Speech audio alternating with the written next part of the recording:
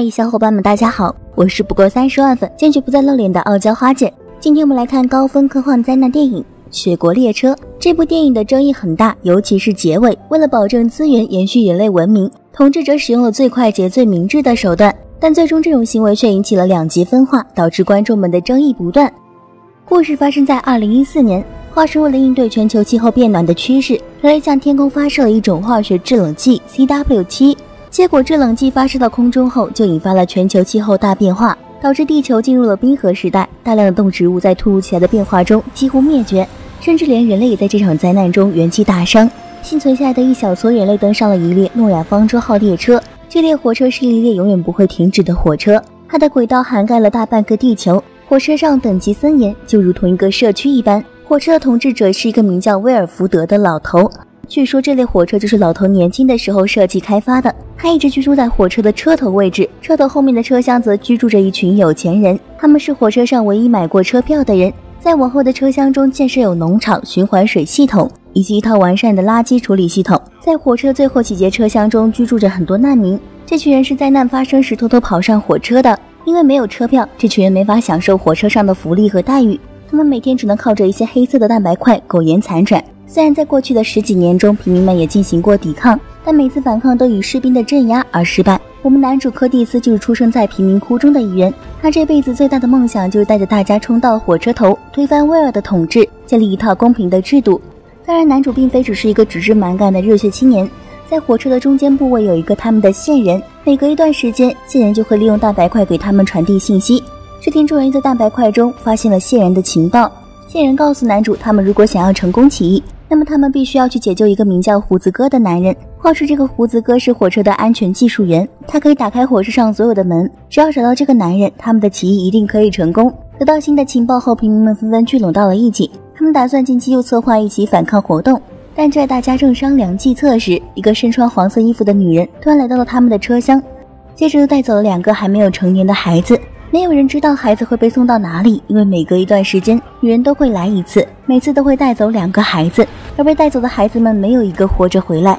女人的举动惹怒了孩子的父亲，其中一个孩子的父亲向女人丢出了一只鞋子，当场就把女人的额头砸出了血。很快，男人的举动也为他招来了麻烦，几个警卫控制并脱光了他的衣服。随后，警卫们将他的手塞到了火车的外面，在室外的低温下，男人的手臂很快就变成了冰块。接着，一个身穿皮大衣的女人黑心姐也来到了尾箱，她站在门口开始了自己的演讲。她举着鞋子，嚣张地对着平民们说道：“每个人都有自己的位置。”她劝诫大家不要越界，因为这里的规矩是他们无法改变的。演讲结束后，他还命令守卫用大锤砸碎了男人的手臂。处罚完毕后，黑心姐就得意地带着手下离开了。不过，这次警卫们的处罚也让男主他们看到了契机。经过十几年的消耗和几次暴动，男主猜测警卫们的子弹应该已经消耗殆尽了，所以他也打算趁机再发动一次起义。但男主也只是猜测，他也不敢确定。为了验证自己的猜测，男主以身试法，他偷袭了一个警卫，趁机扣下了扳机。果然和他猜测的一样，枪里并没有射出子弹。看到这样的结果，周围的平民们瞬间激动起来，大家立刻拉出了准备好的汽油桶，将汽油桶连成长长的管道挡住铁门后。大家便开始推着汽油桶前行，很快一行就来到专门关押罪犯的监狱舱。大家也很快找到了胡子哥，还有他的女儿宝儿姐。经过一番协商，最终男主一扇门两颗大力丸的价格，成功说动了胡子哥帮他们开门。更牛的是，宝儿姐天生五官灵敏，她居然可以预知门后面的情况。就这样，在胡子哥的帮助下，反抗军势如破竹。他们很快就来到了生产蛋白块的车厢，但当男主看见生产蛋白块的原材料竟是蟑螂时，忍不住的他瞬间就吐了出来。不过就在此时，他却突然在蛋白块中发现了一个胶囊，这个胶囊正是线人用来传递情报的工具。打开胶囊后，男主看到纸上写着“水源”两个字。前任总统吉姆很快就明白了线人的意思，线人是想告诉他们控制水源车厢，只有控制了这里，他们才有和车头谈判的资格。不过就在一行人准备前往水源车厢时，他们却突然遇到了大量的士兵，这些士兵配备了大量的钢刀和铁管，很快两拳就在车厢内爆发了番激烈的搏斗。在冷兵器的博弈下，车厢也很快被鲜血覆盖，到处都是被砍下来的肢体。随着战斗持续的时间越来越长，反抗军的劣势也开始显现。危机时刻，男主趁着火车过隧道的机会，男主偷偷摸上去，趁乱劫持了黑心姐。害怕男主伤害自己的黑心姐立刻让士兵们停止了战斗。当大家都停战后，男主赶紧让众人控制了士兵们，接着他就开始逼问黑心姐水源的控制开关。在询问后，他才得知火车的水源来自车头融化的冰雪。如果他们关闭了水源，那么倒霉的就是末节车厢的平民，水流将无法再流到末节车厢。得知了真相后，男主便放弃了控制水源的想法。在刚才的战斗中，双方都投入了全部的兵力。男主预计前面的车厢应该没有什么武装力量了。于是他就将大部分反抗军留在了这里，他则带着几个心腹和黑心姐向车头靠了过去。很快，一行就来到了火车上的生态车厢，在这里，他们看到了温室里的水果、蔬菜、水族馆以及大量的肉制品屠宰车厢。从未到过前方车厢的男主，他们很快就被眼前的食物迷住了。同时，一行也更加气愤威尔的小气。这么多的食物，前排车厢的人居然连一点都不愿意分给他们。穿过生态车厢后，一行来到了居住车厢。第一节车厢是一个幼儿园，在老师的带领下，一行还参观了著名的七人叛乱冰雕。话说这七个人十五年前曾试图停下火车，但最终叛乱还是以失败告终。无路可走的七人跳下了火车，最终被活生生冻死在了雪山上。二十五年前叛乱的领头人正是胡子哥的老婆。就在几人观看冰雕的时候，新年的钟声响了起来。一个光头佬推着一车鸡蛋开始分发新年礼物，但是他们也得到了属于自己的鸡蛋。但让他意外的是。他却在鸡蛋中发现了鲜人的胶囊，他立刻打开了胶囊，结果却发现上面写着鲜血。意识到情况不对的男主立刻回过头来，但此时那个老师已经从篮子里掏出了冲锋枪。还好男主手下的平头哥反应快，他丢出了一把匕首，直接刺死了老师。几个人才没有被冲锋枪击毙。不过留在后面车厢等待男主的反抗军就倒霉了。光头佬在分发鸡蛋的时候掏出了机关枪，没反应过来的起义军瞬间就倒了一大片。等男主从监控里看到画面时，起义军已经被光头佬他们消灭干净了。看着死去的同胞，气愤的男主立刻击毙了黑心姐。干掉黑心姐后，男主又带大家快速朝车头走去。很快，一行人就来到了头等车厢。来到这里后，男主才发现了头等车厢的奢华。这里不仅有下午茶餐厅，甚至还有桑拿房和酒店等休闲设施。乘客们三五成群聚在一起，惬意地聊着天。一些年轻的乘客还在酒吧吸着毒品，喝着酒。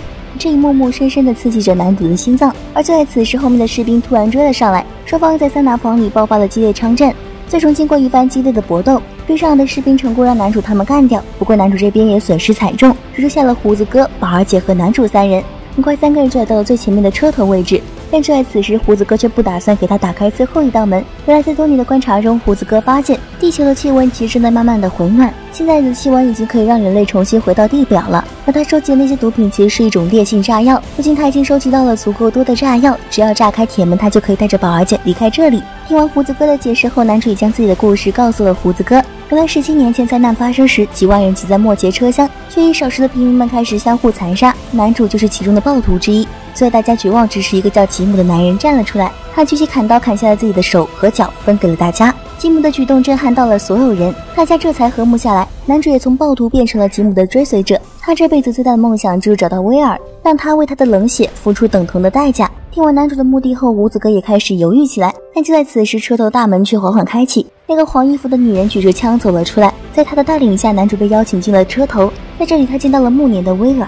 就在男主准备质问这些年威尔的所作所为时，威尔却抢先打断了男主。接着他就开始给男主解释起了他想知道的一切。原来列车虽然可以让大家躲避严寒，但车上的一切资源其实都是有限的。列车的资源决定了列车的人口，一旦人口过多，资源就会被消耗。为了可以循环利用，保证人类文明的延续，列车上的资源都需要严格配给。但男主他们其实一直谋划的起义，其实也是威尔控制人口的办法。十几年中的三次大规模起义，其实就是吉姆和威尔相互策划的。接着，威尔还拿出了一颗胶囊，这颗胶囊就是线人给他们提供情报的证明。此时，男主才醒悟过来，原来这就是真相。得知了一切后的男主心态崩溃，他开始嚎啕大哭。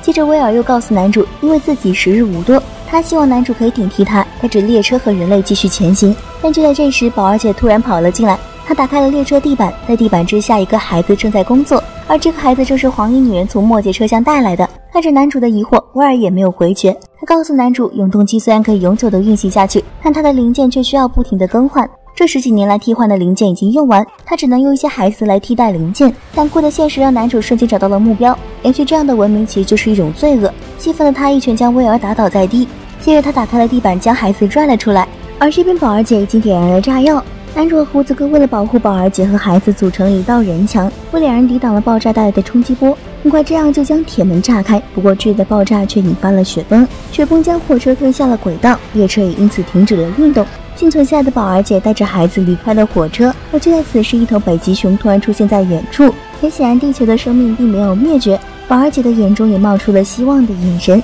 电影到这里也就结束了。其实很多人看完电影，第一反应就是男主是个好人，但其实我们可能都误解了导演的意思。电影中的角色其实并没有绝对的善与恶，其实每个人都有自己的目的，他们的目的都是为了延续人类文明，只不过双方的手段都太过极端。不过话又说回来，如果手段不极端一些，那么一个懦弱的种族也无法永久的生存。不知道大家是怎么看的？好了，就这样，我是不够三十万粉，坚决不再露脸的傲娇花姐。如果大家喜欢花姐解说，可以点赞、评论和关注。我们下期再见，Goodbye。